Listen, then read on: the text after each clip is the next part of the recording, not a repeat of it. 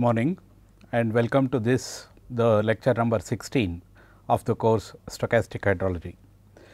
Uh, if you recall in the last lecture uh, we discussed about the box Jenkins type of uh, time series models. Specifically we mentioned about uh, the ARIMA models, the general form of the ARIMA models. And then we went on to discuss how to remove the stationarity specifically the periodicity in the data by differencing the time series. And then we also introduce the B operator by which you can express a time series model in a more compact and uh, elegant form. For example, B of x t we said is equal to x t minus 1. Now, in the differencing of the time series we have discussed the first order differencing, second order differencing and so on the dth order differencing in general. So, 1 minus b to the power d into x t will give you the dth order differencing as, as you can uh, recall from the previous lecture. The box Jenkins type of models, uh, uh, we mentioned that there, there are three major steps that you follow to develop these models. First is identification of the model. You have the time series uh, measured uh, observed data at a particular location and then you would like to fit a particular ARIMA type of model to this measured data. So, the first step that you do is identify which among the several models that are possible best fits the particular data. now, this we do by examination of the correlogram and the partial autocorrelations uh, specifically. then once we identify the model, then we calibrate in the sense that we estimate the parameters of the model. Then the third step is the validation of the model itself to examine whether the model that we have so chosen in fact satisfies all the assumptions that we have made to begin with, especially on the residuals or the noise terms that we get in the model. So, in this lecture today, we will go through all these steps of identification of the model, calibration or the parameter estimation of the model and the validation of the model itself. So, in the identification as uh, I mentioned in the previous lecture, first we have to examine whether the series is stationary, time series is stationary, because the models that we are discussing uh, are meant for stationary time series. So, first we check if the time series is stationary and we also said that uh, the correlogram for a stationary time series shows a uh, rapid decay. That is if it is a stationary time series it shows a rapid decay whereas, for a non-stationary time series it shows a very slow decay uh, with respect to the lag, the correlogram drops down very slowly for a non-stationary time series. Once we see that the uh, series, the time series is non-stationary, then we need to remove any stationary, any non-stationarity that is present. So, that we are dealing with only stationary time series in the uh, ARIMA type of models. Now, how do we remove this non-stationarity? Again as we discussed in the previous uh, lecture, you either difference it, difference the time series x t minus x t minus 1 the first order difference, x t dash minus x t dash minus 1 for the second order difference and so on. So, you test the first order difference, second order difference etcetera and then once you do these differencing again test for the significance of the periodicities or uh, presence of station non stationarity in the uh, series so, so created and once you are satisfied that the non-stationarity has been removed and the uh, series has been transferred into a stationary series, then you start working with the ARMA models. We then obtain the AR and MA components that means how many of AR components and how many of MA components are that are necessary for the model. For this we use along with the correlogram we also use the partial autocorrelations. The partial autocorrelations, how to determine the partial autocorrelations I have explained in the earlier classes. Essentially you use the Yule-Walker equation. If you want phi p, let us say the partial autocorrelation of order p if you want. You formulate the Yule Walker equations of order p and determine the ARP, the last uh, phi p that you get in the Yule Walker equation in fact gives you the partial autocorrelation for of order p.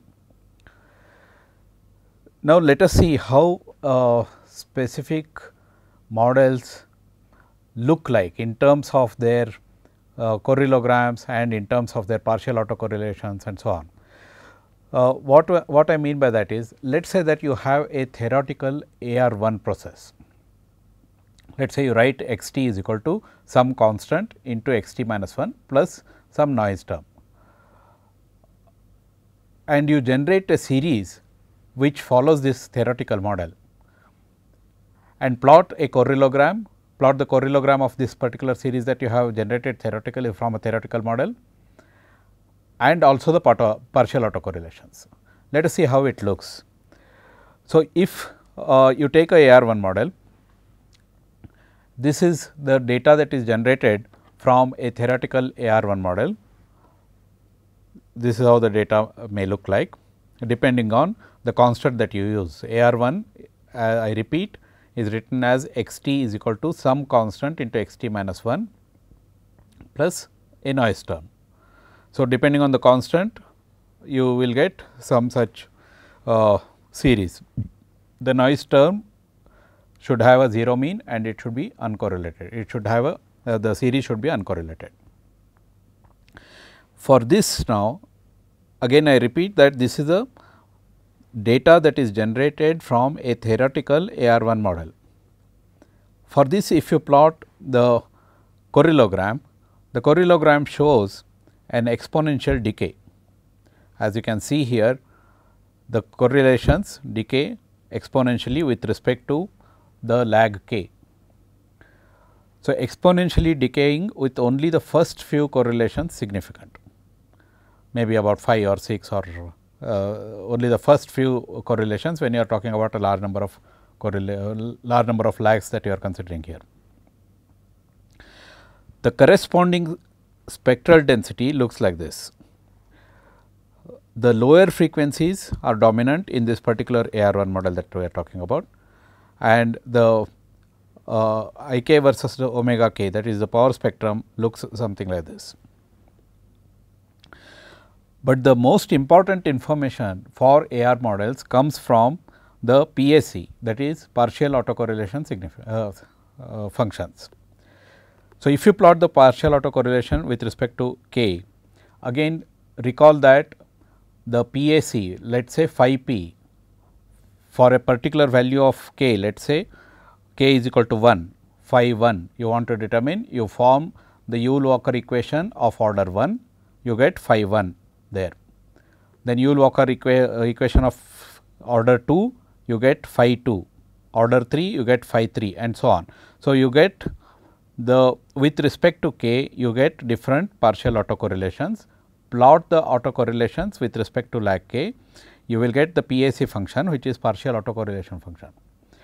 For the AR1 model exactly one PAC is significant in the in this particular case exactly one Is significant. So, there are two important information uh, two uh, important features of the AR1 process that is represented here are that the correlogram shows an exponential decay and exactly one PAC is significant, exactly one partial autocorrelation is significant.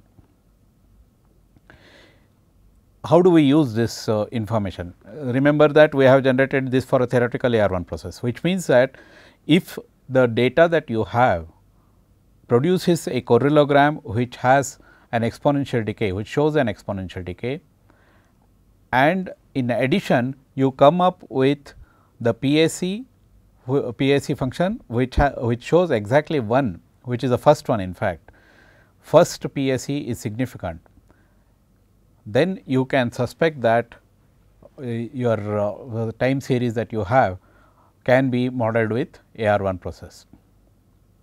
Let us look at what happens in the case of AR2 model now. Again we have taken a theoretical AR2 process that is we write x t is equal to how do we write the uh, AR2 model? We write x t here for the AR2 model is equal to phi 1 x t minus 1 plus phi 2 x t minus 2 plus some error term noise term epsilon t. So, this is your AR2 model. Let us say we choose phi 1 and phi 2 if it is a, a standardized data or some such thing uh, that is between uh, let us say z t is equal to we have we have written z t is equal to x t minus x bar by s and if we are talking about the monthly data again we take those those particular months mean and standard deviation to which the time period t belongs.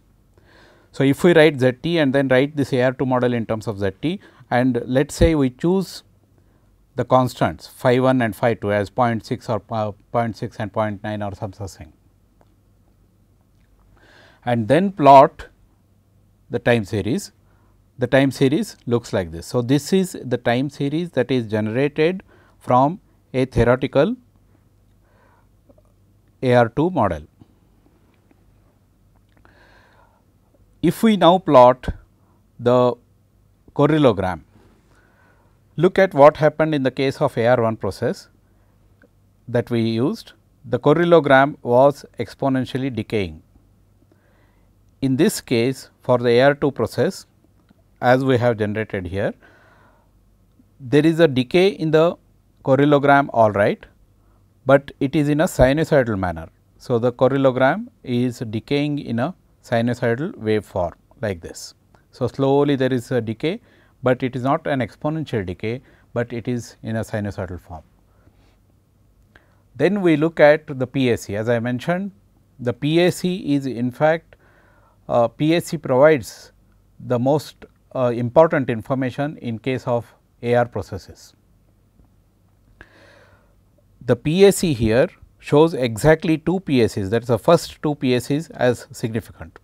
The PAC corresponding to k is equal to 1 and PAC corresponding to k is equal to 2 and there are no other PACs which are significant, they are all insignificant. These are the significance bands and uh, I repeat uh, what we mentioned earlier that the same significance bands 95 percent significance bands that we use for correlogram same uh, significance bands we also use it for the PAC function. What are these? These are 2 plus or minus 2 by root n here plus 2 by root n here and minus 2 by root n here. The power spectrum in this case uh, follows some such shape where the lower frequencies dominate.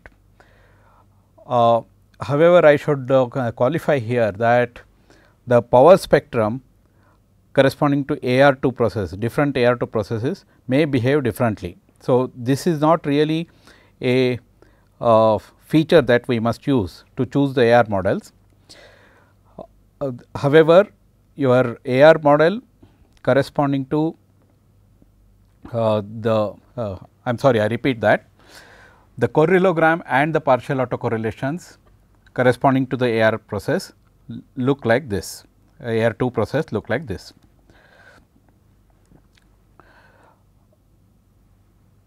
we mentioned two AR2 processes here. The previous one was this. This is the AR2 process that we generated in which case you have an ex exponentially decaying and exactly two partial autocorrelation significant. This is similar to what we had done for AR1 process. This is AR1 process we have exponentially decaying correlogram and only one uh, PAC significant. For one of the AR2 models you have the time series like this, the correlogram decaying, but not in exponential form, but in a sinusoidal waveform and exactly 2 PS is significant. The dominant frequencies in this particular case are neither high nor low in the power spectrum, but we generate another AR2 process by choosing a different set of constants in that phi 1 uh, x t minus 1 plus phi 2 x t minus 2 plus epsilon t. That is we choose a different set of phi 1 and phi 2 and then generate another AR2 process. In this case, you get an exponentially decaying uh, correlogram again exactly two PS is significant, two partial autocorrelations significant, the first two autocorrelations significant, partial autocorrelation significant. In this case, the lower frequencies are dominant.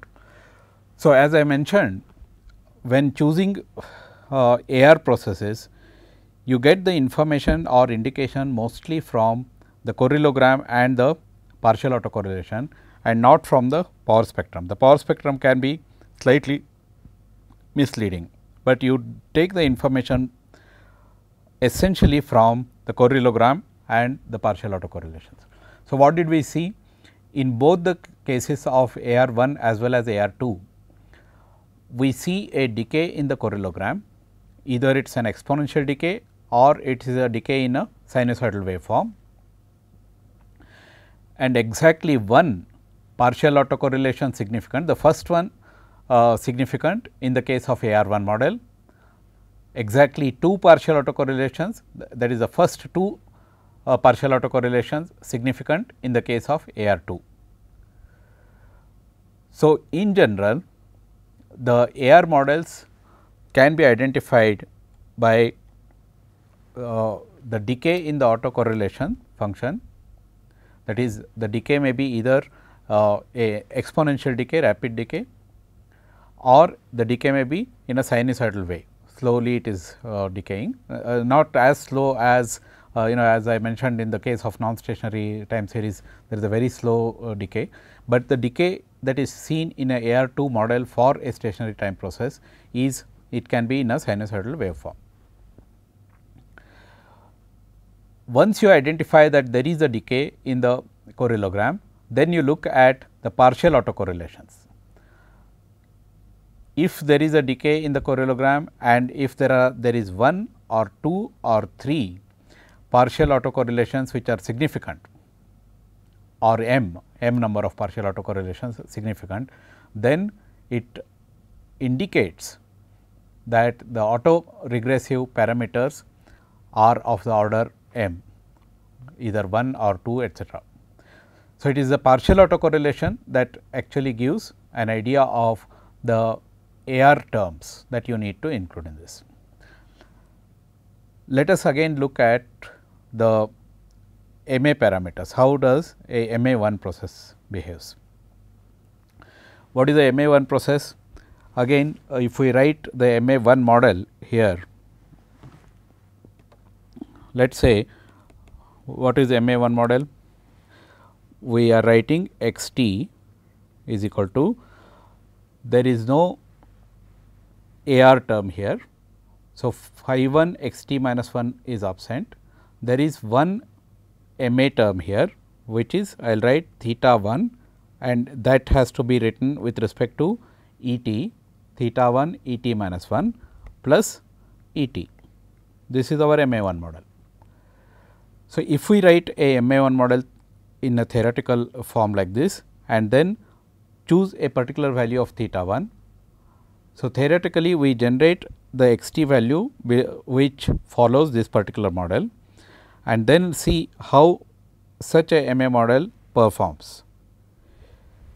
If you look at the MA 1 process the time series looks like this as we have generated theoretically x t versus t the time series looks like this. Look at the correlogram now.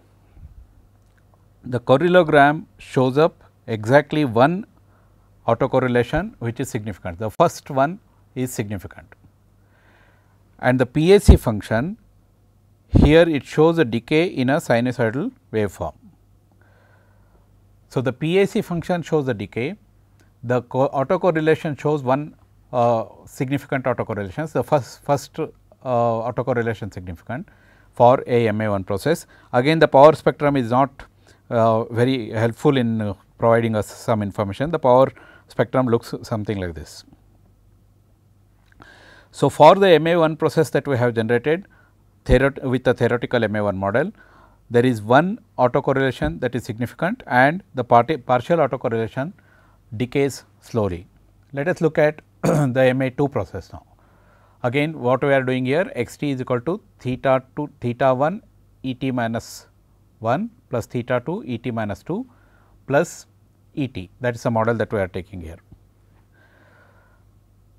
The correlogram shows exactly two autocorrelations the first autocorrelation two autocorrelation significant and the PAC function again shows a decay in a sinusoidal waveform.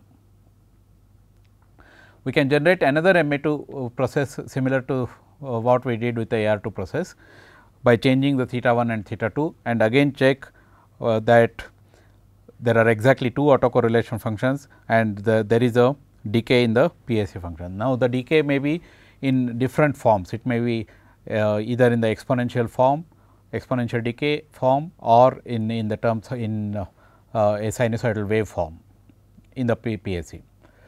So, the MA models behave as follows.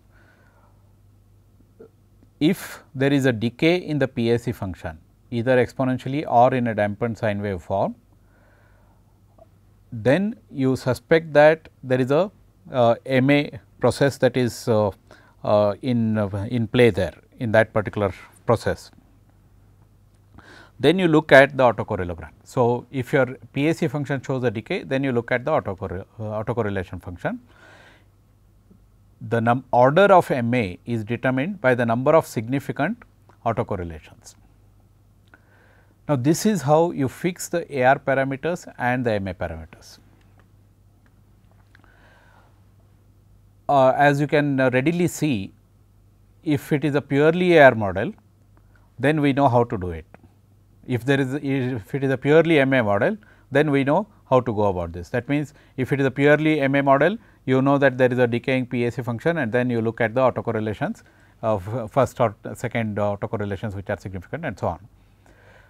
But when we have both AR as well as MA uh, processes together that is we are looking at ARMA models, then this identification this procedure of identification becomes slightly uh, complicated and it is it does not always lead to unique identification uh, unique model identification. In fact, with the uh, you know advances in the computations and so on, uh, the identification of the models has become slightly I would say uh, not necessary in the sense that you can choose several candidate models and for each of these candidate models you examine how the whether the data that you have fits any of these candidate models uh, well or not. In fact, in the in the case studies that I will be discussing, we will discuss that particular methodology also. So, assume the assuming now that we have identified which particular model fits the data that you have uh, reasonably well, then the next procedure is parameter estimation. Let us say that we have identified that you have one parameter for AR and one parameter for MA theta 1 and uh, that is phi 1 and theta 1. So, we need to now estimate uh, the parameters phi 1 and theta 1. There are large number of algorithms, we do not have to go into the uh, development of the algorithm itself, but there are large number of algorithms available for estimation of parameters of uh, ARMA models. The most commonly used uh, algorithm is the Marquardt's algorithm, which is available in most of the statistical toolboxes. But we can also use uh, toolboxes in the MATLAB, uh, where the Armax toolbox gives for ARMA models, it gives the parameters directly. If you are using algorithms such as Marquardt's algorithm and you want to write your own codes for that, it typically requires some initial values of the parameters. That is let us say that you have a ARMA 2 1 model, where you have 2 of AR parameters and 1 of MA parameter to be estimated. Then you have to give the initial uh, the algorithm is such that it starts with an initial assumed values and then it slowly converges to the correct values, the correct estimated values. In such cases the AR parameters if you want to give initial values initial guesses for the AR parameters you can simply solve the Yule Walker equations. Let us say you have uh, P AR parameters. Simply solve the Yule Walker equations of order P and give all phi 1 phi 2 etcetera phi p. Remember phi 1 phi 2 etcetera are not uh, partial autocorrelations. Only the phi p is the partial autocorrelation, but you give phi 1 phi 2 etcetera up to phi p as initial guesses to the Marquardt's algorithm and then the algorithm uh, uh, proceeds starting with these initial guesses and then gives you the final converged values of parameters. That is for AR parameters.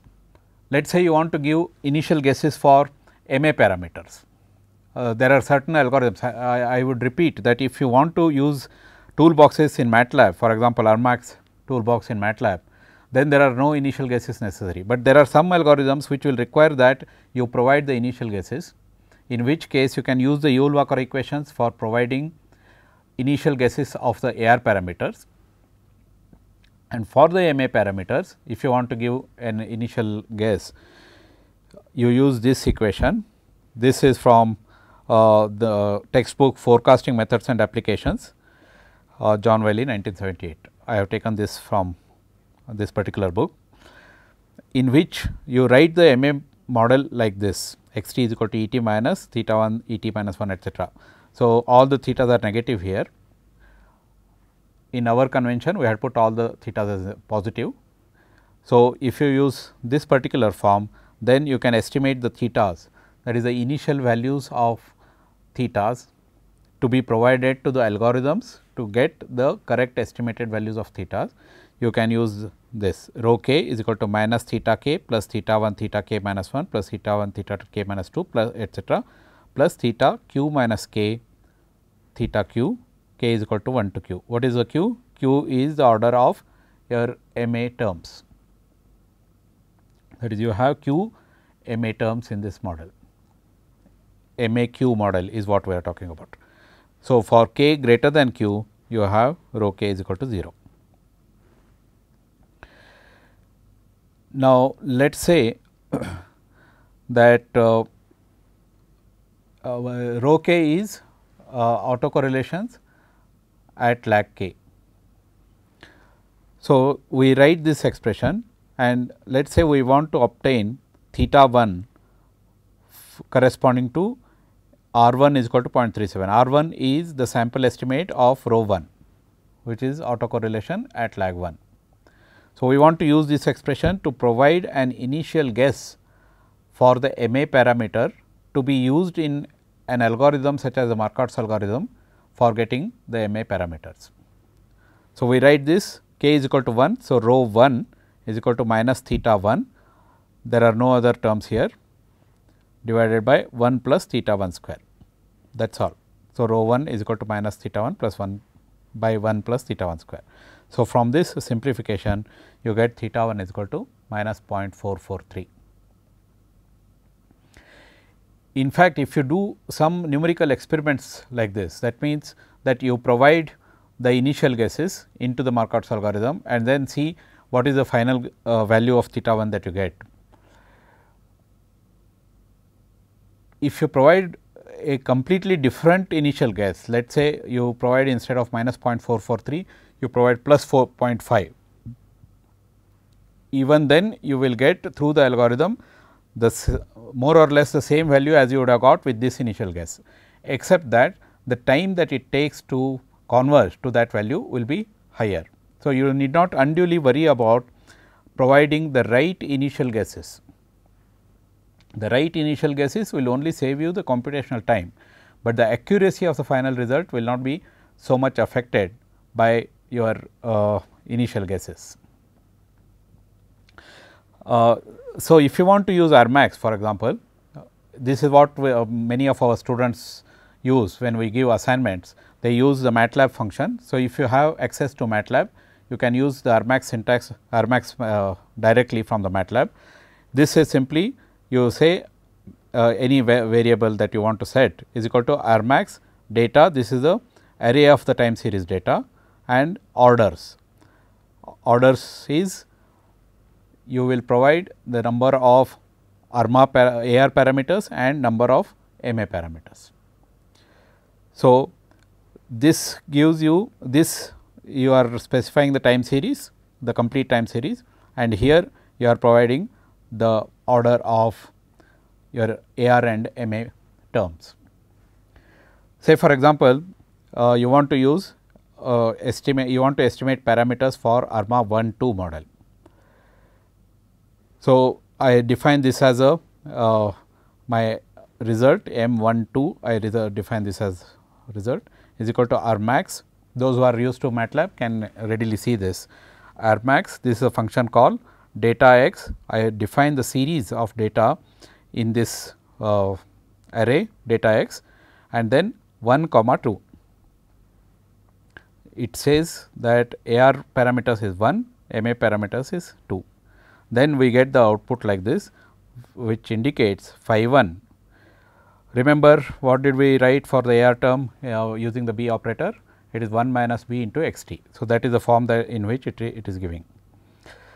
Uh, that is 1 minus phi 1 B into x t. So, phi 1 is minus 0.3543 then similarly for MA 2 parameter we have written you can just verify from the previous lecture. How do we write?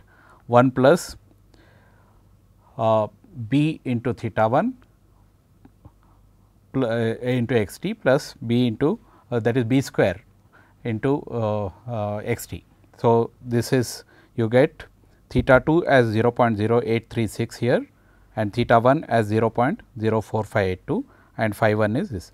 So, this is how you can use the built in toolboxes in MATLAB and several other statistical uh, uh, programs that uh, you may have access to. Most of the stat statistical uh, programs will have uh, some uh, functional calls which will return the parameters of a general ARMA model. So, we will use those. I do not want to go into the details of how the algorithms themselves work in this course. We will just see how to use these uh, different toolboxes, get the parameters. Our focus here is once we get the parameters, what do we do? Once we get the model structure, what do we do? So, we have completed two steps now. One is identification of the model structure, how many AR terms, how many MA terms and what is the level of differencing that we would like to do the level of differencing, the order of differencing that we want to do will depend on whether you are able to convert the uh, time series into stationary time series or not. And then you will fix your AR components and MA components. As I mentioned, for higher order terms like AR 5 and then MA 3, MA 4 etcetera, if you want to have combined models, let us say you are talking about ARMA 6 5 then the identification procedure becomes quite uh, cumbersome, quite difficult and perhaps you may not be able to get, get a correct identification at all. Typically what we do is especially in most hydrologic applications, rather than identifying specific uh, AR and MA terms, we formulate several candidate models. Let us say that I will go from AR component 1 2, 3, 4 etcetera up to 6. Similarly, MA I go from 1, 2, 3 etcetera. So, we will formulate ARMA 1 1, ARMA 1 2, ARMA 2 1, ARMA 2 2 etcetera like this we formulate several candidate models. Then on these candidate models we do the parameter estimation for each of these uh, candidate models we send it into let us say Armax and then corresponding to each of these model we calculate the parameters which means that we have now formulated all the candidate models complete with the parameters. Then among these candidate models, which do we choose? Which among these candidate models so considered will fit our data the best? That question we answer subsequently by either maximum likelihood or minimum uh, mean square error criteria and so on. So, essentially while there are uh, procedures available to identify the AR terms and the MA terms separately, these procedures are not really essential when we are uh, uh, doing, doing applications especially in hydrology because the AR terms may go from 1 to 4 or 1 to 5 and so on. We hardly get AR terms of 20 and 30 and so on, especially when we are looking at monthly stream flow series, seasonal rainfall series and so on, whatever we uh, generally get in the uh, hydrologic applications. Similarly, the MA terms we hardly go beyond 2 or 3, it is either 1, 2 or maximum 3 we may go. Also there is a concept of contiguous and non-contiguous models. By contiguous I mean let us say you are talking about AR2 model.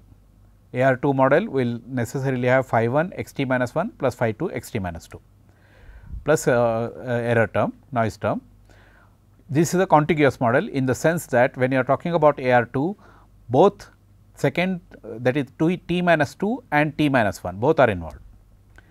Whereas, a non-contiguous AR2 model I can write it as it will have 2 parameters only 2 AR parameters only, but it need not necessarily have t minus 1 and t minus 2. It may have t minus 1 and t minus 12. So, I may write AR 2 as x t is equal to phi 1 x t minus 1 plus phi 2 x t minus 12 plus uh, error term of course. So, like this you may construct uh, a contiguous model and a non or a non contiguous model depending on uh, significance of uh, the correlations that you come across in the data and so on. Uh, when we uh, explain the when we deal with the applications this point will be clear. The point that I would like to drive home is that the estimation procedure while there is an elegant way of doing it is rather subjective but in hydrologic applications, we do not have to be unduly concerned about it. We can choose candidate models appropriately with proper judgment and for all these candidate models you apply the validation test, do the parameter estimation and then apply the validation test, then you will be able to fit the model correctly. All right. Now, as I have mentioned, you know virtually there are infinite number of models that are possible you have a time series, you have an observed time series. You can formulate theoretically virtually infinite number of models, because by varying p, d, q theoretically there are a large number of models that you can formulate. But it is important for us to for choose among these several models that are possible, choose the best the model that is that well represents the data remember here all this exercise we are doing so that the data that we have observed can be represented can be replaced by a time series model of ARMA type. So, that this model can be used to generate data for actual applications.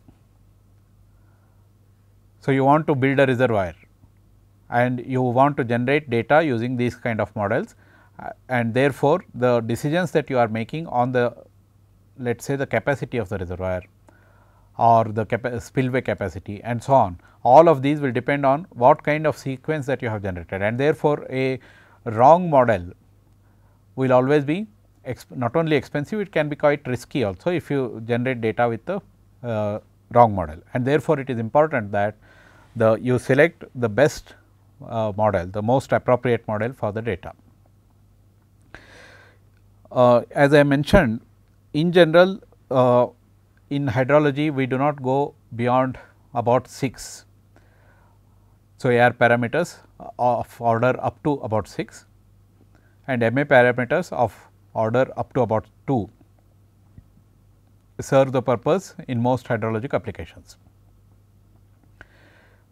And again the models can be either contiguous or non-contiguous so, you may still stick to let us say AR 4 or AR 5 model, but not all the AR terms be uh, contiguous x t minus 5, x t minus 4, x t minus 3 etcetera. You need not go in that order. You may choose based on uh, your initial analysis on the correlations and uh, uh you know significant periodicities and so on. For, what I mean by that is let us say you are talking about monthly stream flows Obviously, monthly stream flows the immediate previous stream flow has a strong influence on the this particular month's stream flow. So, x t minus 1 has to be there, but whether the stream flow 2 months behind is influencing this as much as the stream flow 1 year behind influences this. For example, the June month's flow of this particular year may have a strong correlation, stronger correlation with the June month flow of the previous year compared to its correlation with the May uh, with the April month flow of this year. So, we may write an AR2 model as x t is equal to phi 1 x t minus 1 which takes care of the May month plus phi 2 into x t minus 12 one, one year behind. So, you are looking at June of the previous year and therefore, this becomes a non-contiguous model. By doing this what we are doing is we are avoiding large number of terms. Suppose you wanted to put x t minus 12 also in the uh, model and you wanted to build a contiguous model. What would it uh, uh, look like? It will look like x t is equal to phi 1 x t minus 1 plus phi 2 x t minus 2 etcetera plus phi 2 uh, phi 12 x t minus 12 all the terms have been included and therefore, the number of parameters that you need to estimate will be quite large phi 1 phi 2 phi 3 etcetera phi 12 you have to estimate. Whereas, in the non contiguous model you would have put x t is equal to phi 1 x t minus 1 plus phi 2 x t minus 12 directly plus uh, the error term. So, that is the advantage of using the non contiguous models. Now, once you have such collection of models, these are the candidate models now. With these candidate models, now we need to choose which among these models best fits our requirement we use two rules here. One is the maximum likelihood rule. Uh, the other one is called as the uh, prediction method or the mean square error method. So, we choose the models based on either the maximum likelihood or the minimum mean square error. The models that we are so building can be used for two primary purposes. One is generation of long term data. That means, from the historical data you have built this particular model, use this particular model to generate large sequence large sequence of data. Let us say from the 50 years data that you had, you generate another 50 years of data, another 100 years of data, several such sequences and so on. That is for generation of the data whenever we are talking about generation of long long data series, then we use the maximum likelihood rule to choose the models. The other purpose that we will be using uh, these models is for short term forecasting itself. Let us say we are standing in the month of June, you would like to use this particular model to forecast what is likely to happen in the month of July. This is called as one time step ahead forecasting.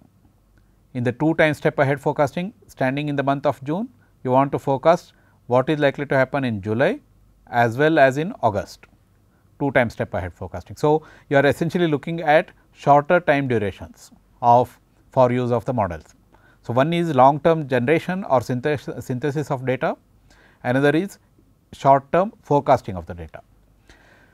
For long term synthesis of the data, the criteria that we uh, the criterion that we use to select the model is typically the maximum likelihood criteria. And for the short term forecasting problem we use the uh, minimum mean square error data criteria. It is also called as a prediction approach. Uh, classically uh, there is another criteria which is called as the Akaike information criteria AIC criteria uh, which also can be used to select models. Uh, but uh, Kashyap and Rao, the textbook that I uh, keep referring in the due course, uh, they have recommended this procedure because they have found the AIC uh, that is a information criteria not exactly suitable in many situations. Okay, what does the maximum likelihood rule look like now? You remember what we did in our parameter estimation uh, using a, a, maximum likelihood uh, uh, method. We formulate a likelihood function and then look at the maximum value of that. Essentially the principle is the same here, but we calculate the likelihood values for individual models. Remember that we have formulated candidate models. Let us say there are 10 candidate models.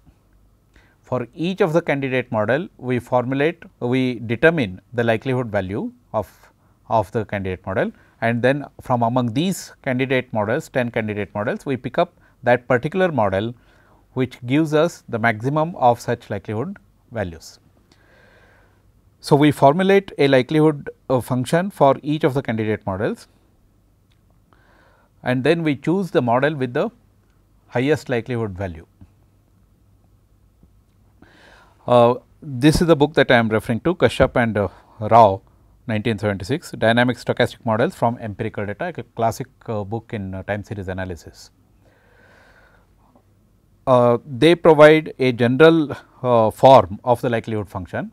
This is a log likelihood function L i is equal to log p z phi i this is a probability distribution minus n i. The n i here is the number of parameters. Let us say you have ARMA 2 1 the total number of parameters is 3. So, n i is the total number of parameters. Now, a specific this is a general class of the uh, log likelihood functions. A specific likelihood function in this general class may be written after uh, some approximation as L i is equal to minus n by 2 log sigma i minus n i. This capital N here is the number of data values and this is the standard deviation of the residuals and this is the number of parameters.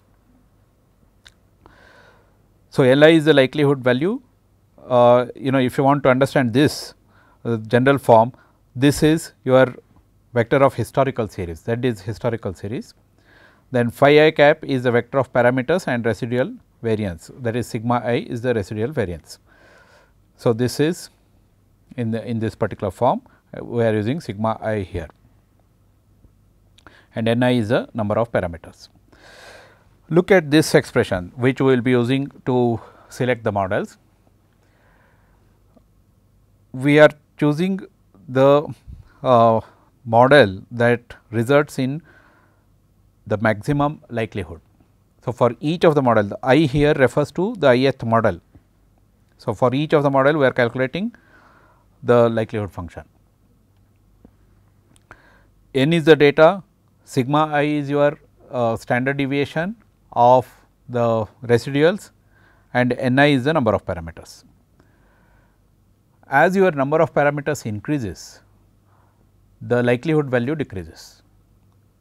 Let us say from ARMA 2 1, ARMA 3 1 in general. In general, uh, it also depends on your sigma i and uh, for the same n, it also depends on sigma i, but for the same sigma i, as your number of parameters increases, then the likelihood function decreases.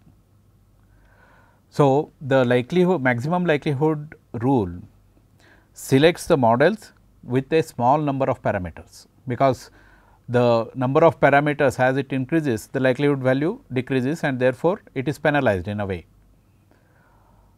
Now, this is called also as the principle of parsimony that uh, uh, is generally uh, valid in uh, Box Jenkins models. That means, from amongst those many models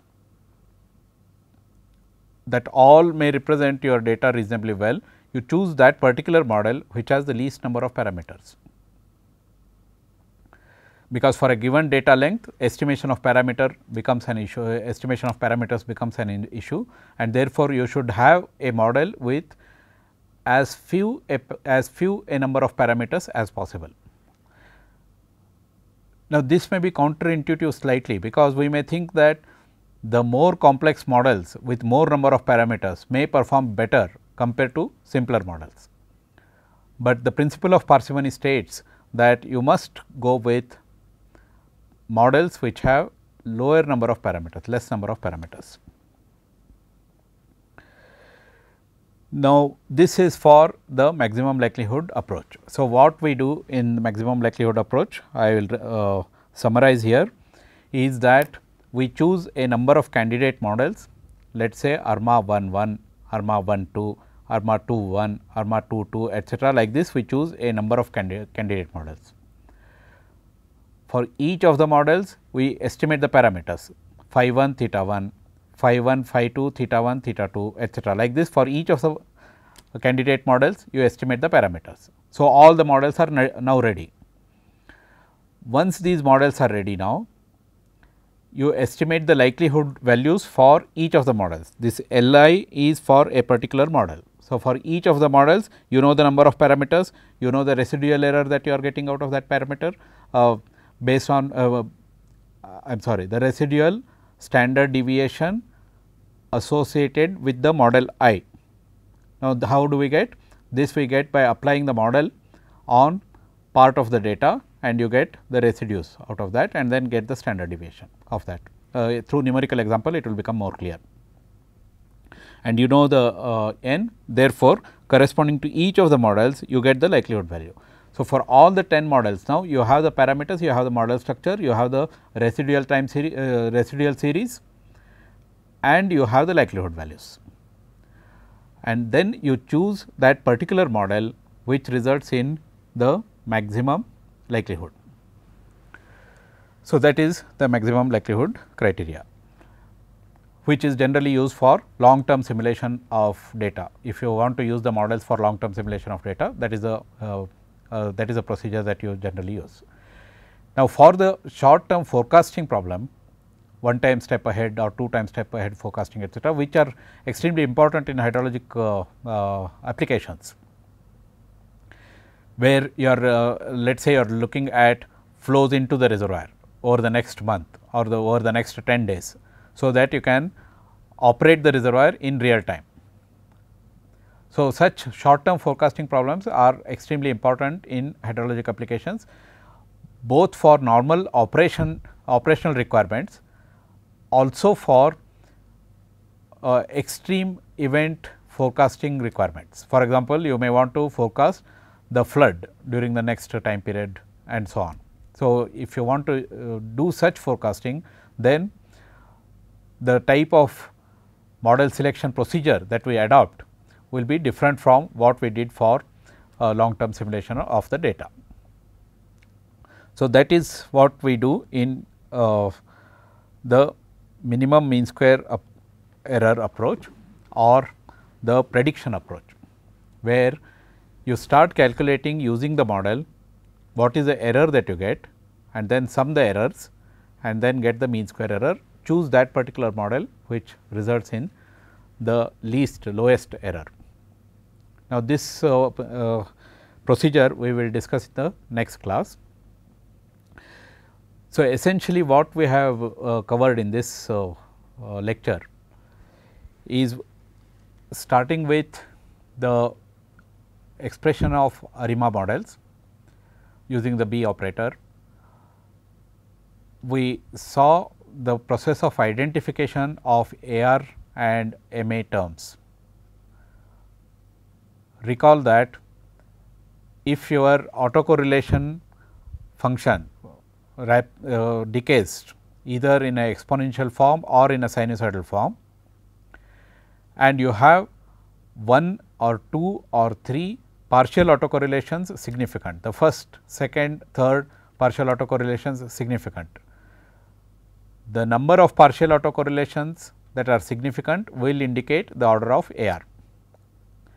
Now, in the MA it is slight it is exactly reverse that is in, in the MA identification that is a moving average identification the partial autocorrelations decay either in a sinusoidal way or in an exponential way and you have one or two or three significant autocorrelations corresponding to M A 1, M A 2 or M A 3. This is how we identify AR and M A term. However, as I mentioned we generally adopt uh, we formulate candidate models large number of candidate models and from among those candidate models we choose which is the best one for the data that we have and for the purpose for which we want to use we introduce the maximum likelihood criteria for selection of the models. We have also discussed how the parameters are estimated for each of these uh, models ARMA models using algorithms and typically the Armax uh, function that is available in uh, MATLAB can be used uh, straightforward. All you need is your data series and the model structure, how many pa AR parameters and how many um, MA parameters. So, you formulate a large number of candidate models, estimate the parameters and then we calculate the maximum likelihood, um, we calculate the likelihood function for each of the likelihood value I am sorry likelihood value for each of the models and pick up that particular model which results in the maximum likelihood value. And for the short term forecasting we use the method of um, minimum mean square error. Now, this method we will discuss in the next class. Uh, essentially what we do there is that let us say that you are talking about AR1 model for short term forecasting. You have estimated the parameter and then you apply that particular model for half the length of data n by 2 in estimating the parameters and the remaining n by 2 values you choose to get the errors in the forecast.